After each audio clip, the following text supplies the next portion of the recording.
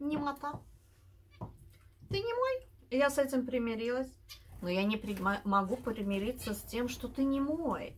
Ты запер свою речь внутри себя. Ты жаден до изнеможения на слова, обращенные ко мне.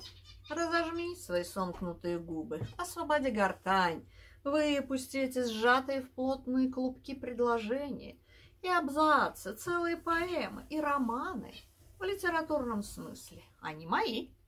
По праву отдай мне их. Если же ты претендуешь затмить великого немого, тогда танцуй для меня без передышки или снимайся в кино. Ты должен выполнить свой долг по отношению ко мне.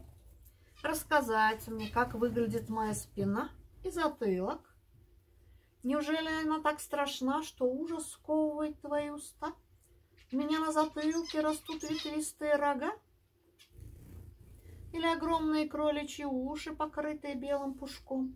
сквозь которые иногда просвечивает розовизна кожи и краснота глаз. Я не могу оставить тебя, пока ты не заполнишь мою изнанку и не заштопаешь мою заполненную твоими словами спинку.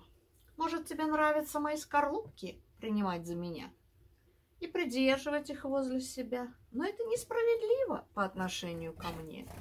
Мужчины говорят на языке справедливости, ты из их числа. Я не претендую уже на твою жизнь, внимание, заботу, а только на зашитую спинку и плотное твое речевое нутро под ней. Ты не должен мне закаты, ты не должен мне рассветы, но ты должен мне очень много слов. Впрочем, если тебе трудно говорить много, во что я не поверю, имея в виду твои литературные труды, то ты можешь загустить их всего лишь до трех слов